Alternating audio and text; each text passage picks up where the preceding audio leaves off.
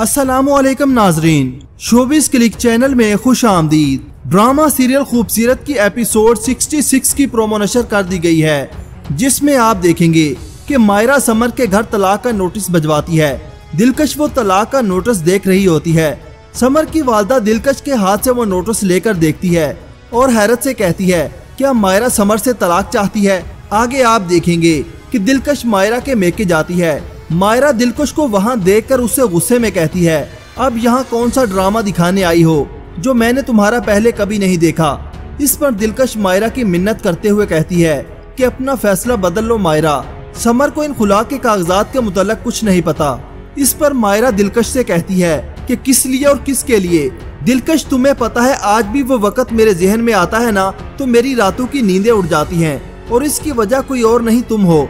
इस पर दिलकश कहती है तो मैं चली जाती हूँ। मैं चली जाऊँगी तुम दोनों की ज़िंदगी से बहुत दूर। तुम एक दफ़ा बोलो तो सही, जिस पर मायरा उसको पीछे धक्का देती है। आगे आप देखेंगे कि मुनसफ की तबीयत खराब हो जाती है। मायरा उसको अस्पताल लेकर जाती है।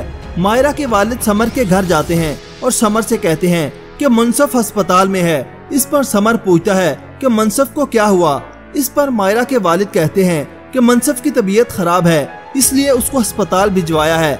आगे आप देखेंगे कि समर और दिलकश अस्पताल जा रहे होते हैं। दिलकश बहुत परेशान होती है और दुआ मांगती है कि या अल्लाह हमारे गुनाहों की सजा इस बच्चे को मत देना, उसे सेहतयाब कर देना। जब दिलकश अस्पताल जाती है तो मायरा दिलकश से कहती है कि मैं भी सोचूं कि शाम तक जो मेरे बच्चे का मौसमी बुखार था, वो नमूनिया कैसे बन गया, क्योंकि इस मनहूस औरत की आँखें जो पड़ गई थी इस पर। दूसरी तरफ़ जब दिलकश के वालदेन को इस बात की खबर होती है कि मुनसफ अस्पताल में है तो वो दिलकश को फ़ोन करते हैं। दिलकश की वालदा दिलकश से कहती है कि औलाद तकलीफ़ में हो तो माँ बाप को कैसे नींद आती है? इस पर दिलकश रोते हुए कहती है, काश खुदा ने मुझे भी इस काबल समझा होता।